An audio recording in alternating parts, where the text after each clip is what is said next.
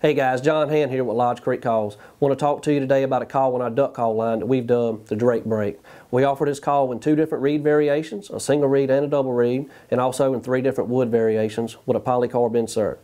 Now this is a call that you're going to want to use in those flooded timber type situations. You're not going to want to blast the ducks out of the air. It's got those subtle quacks, those nasally hen sounds, and just raw bottom end duck. I'm going to run it here for you.